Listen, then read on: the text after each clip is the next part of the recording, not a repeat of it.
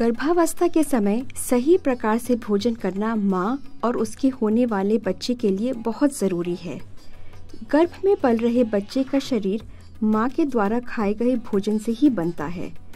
अगर माँ गर्भ के दौरान उचित भोजन खाती है तो उसका बच्चा स्वस्थ रहता है और बच्चे को जन्म देने में माँ को कोई कठिनाई नहीं होती। जन्म के बाद माँ का स्वास्थ्य भी जल्दी ठीक हो जाता है।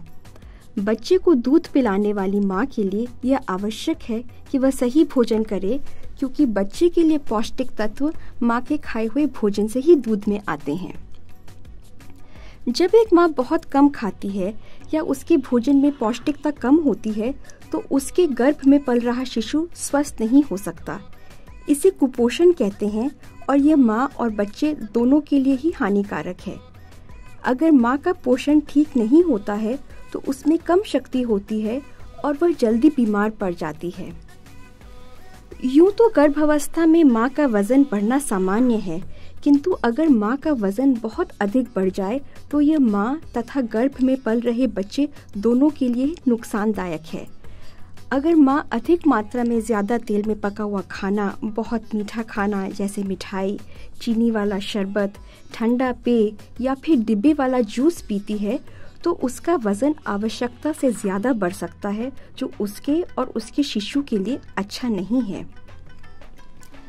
गर्भावस्था के दौरान अगर माँ अधिक मोटी हो जाती है तो उसमें गंभीर स्वास्थ्य समस्याएँ जैसे डायबिटीज़ और हाई ब्लड प्रेशर भी हो सकती हैं। कभी कभी माँ के मोटापे से बच्चे को सामान्य तरह से जन्म दे पाना मुश्किल हो जाता है और ऑपरेशन करने का खतरा बढ़ सकता है।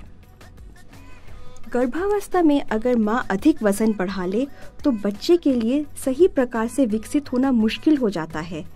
बच्चा या तो समय से पहले जन्म ले लेता है, या फिर स्वास्थ्य संबंधी जन्मजात समस्याओं के साथ जन्म लेता है, जिससे माँ के लिए उसकी देखभाल करना कठिन हो जाता है।